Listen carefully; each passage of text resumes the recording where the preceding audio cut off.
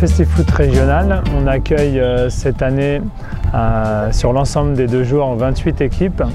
28 équipes qui sont réparties de la façon suivante. Euh, on a accueilli hier les U13 féminines et garçons sur le site et puis on accueille aujourd'hui les U15 féminines et U15 garçons. Il n'y a pas de finalité compétitive contrairement à d'autres rassemblements que l'on organise à l'Institut du football régional.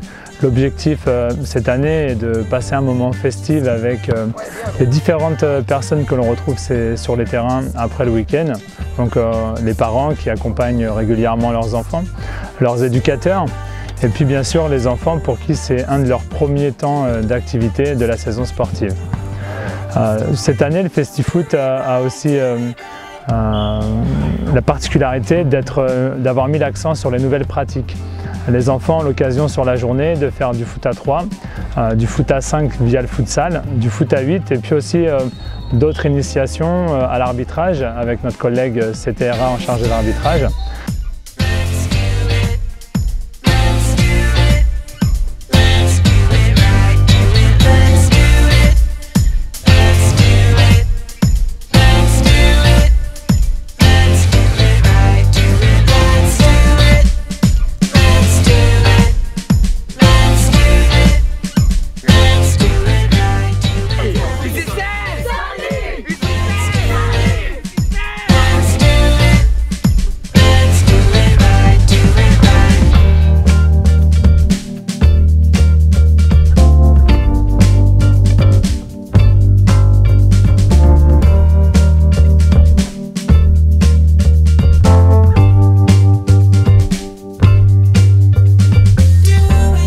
C'est la convivialité, c'est bien, tous les gens ils sont accueillants, on, se fait plaisir en jouant au foot, on rigole un peu avec les activités, tout ça c'est bien.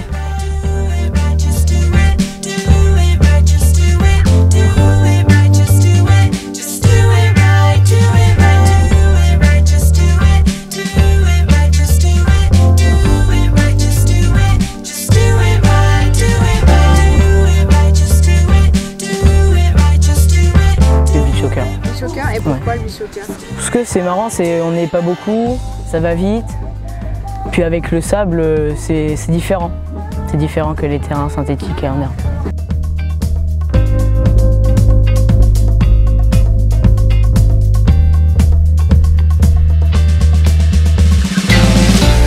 Nous sommes très heureux d'être euh, partenaire encore une fois du, du Foot, euh, un partenariat ancien, euh, volontaire, euh, engagé, passionné, puisque c'est une manifestation qui permet de transmettre, d'inculquer des valeurs, des vertus qui sont euh, la passion, euh, l'amitié, la proximité,